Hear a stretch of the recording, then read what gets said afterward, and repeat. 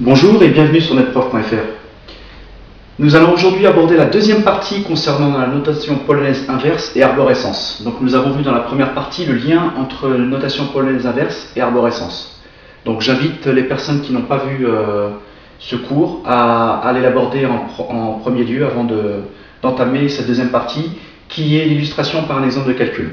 Donc je vous propose d'effectuer ce calcul par une arborescence et de savoir de quelle manière ça va être euh, euh, euh, comment dire, noté dans une calculatrice à notation pour les inverses.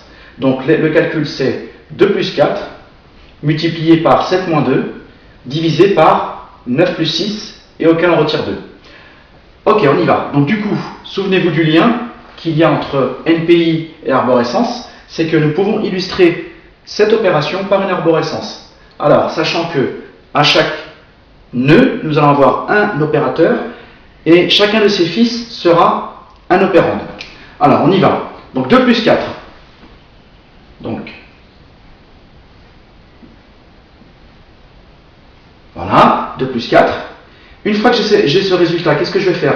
Je vais le multiplier par 7 moins 2. Donc, multiplié par, et d'un autre côté, donc, en fait, le fils gauche du multiplié, ce sera le résultat de 2 plus 4, et son fils droit sera le résultat de 7 moins 2. Donc 7 moins 2, donc moins 7 et 2. Ok Donc une fois tout ce calcul effectué, qu'est-ce que je vais faire? Je vais diviser par 9 plus 6. Donc on y va. Donc diviser. Et de l'autre côté, 9 plus 6. 9 plus 6, donc le nœud sera le signe plus, l'opérateur plus, et les fils 9 et 6. Et enfin, tout ça, je vais le soustraire à 2. Ok. Donc maintenant, nous allons faire le parcours de l'arborescence en effectuant la remontée du fils droit. Alors ça donne. Donc, souvenez-vous, nous devons nous imaginer que chaque feuille a deux fils fictifs. Donc je vais les, les dessiner. Voilà. Ok, les feuilles, il y en a 1, 2, 3, 4, 5, 6, 7. 1, 2, 3, 4, 5, 6, 7, qui correspondent à tous les nombres, enfin les chiffres donnés. On y va. Donc je remonte. Donc remonter du fils droit. Donc ici, je devrais avoir 2. Je remonte. Qu'est-ce que je croise? Le 4. Et je fais sa remontée du fils droit. Donc 4, je remonte. Qu'est-ce qu'on croise? Le signe plus. Ok, je continue. J'arrive à 7, donc je remonte le fils droit. Donc 7. On continue. J'arrive à 2, donc je remonte le fils droit. 2. Le signe moins. Je remonte le signe multiplié, donc l'opérateur multiplié, on continue. Donc je croise le divisé, mais je ne le note pas parce que je n'ai pas encore effectué la remontée de son fils droit. Donc j'arrive à 9. Ok, je remonte son fils droit. Multiplier, ah, pardon, le signe plus c'est pareil. Je n'ai pas encore effectué sa remontée du fils droit, c'est-à-dire cette branche-là. Donc je ne le note pas. 6, je descends son fils gauche, je remonte. Et je remonte le, je descends le fils droit, je remonte. Ok. Maintenant, je remonte le fils droit du plus, donc je le note. Le fils droit du divisé, je le note.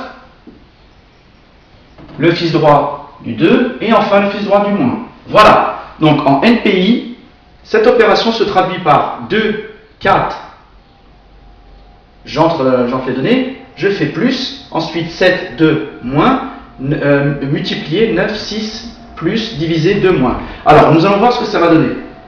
Donc la calculatrice, comment elle fait? En fait, ce qui se passe dans la calculatrice, dans son automate, à chaque fois qu'elle va avoir deux éléments, enfin un opérateur, elle va aller chercher les deux éléments précédents et elle va effectuer l'opération en question. Donc on y va dans cet ordre-là. Donc 2, 4 plus. Donc 2 plus 4, ça fait 6. J'écris la suite. Donc 7, 2, moins, multiplié, 9, 6, plus, divisé, 2, moins. C'est comme ça que la calculatrice, la calculatrice fait en fait. Donc j'ai un opérateur, je prends les deux précédents. Donc le 6, je le note. Alors 7, 2 moins, qu'est-ce qui va se passer Dans l'ordre, je prends 7 moins 2, ça me donne 5. Je continue, donc derrière j'ai multiplié, 9, 6 plus, divisé 2 moins. On continue. Donc j'ai un opérateur qui est ici, précédé de 5 et 6. Donc qu'est-ce que je fais? 6 fois 5, ça me donne 30. Ok, donc 30, 9, 6, plus, divisé 2, moins.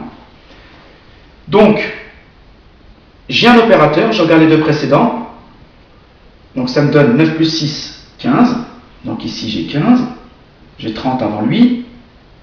Divisé 2 moins. On continue. Donc le, premier opérateur que je croise, divisé, et les prédécesseurs, donc 15 et 30. Donc 30 divisé par 15, ça me donne 2. Et enfin, qu'est-ce qui me reste? 2 et moins. Et voilà, dernière opération. 2, 2 moins, donc 2 moins 2, 0. Voilà, donc là, je devrais obtenir 0. Effectivement, 2 plus 4, ça me donne 6. 7 moins 2, ça me donne 5.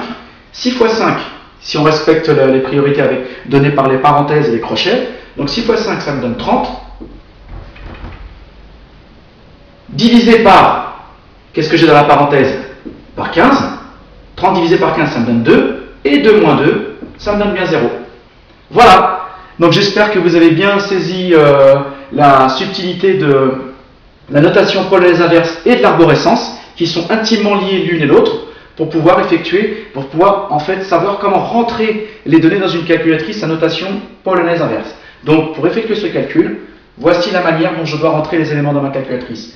2, 4, plus, 7, 2, moins, multiplié, 9, 6, plus, divisé, 2, moins. Et j'aurai le résultat 0.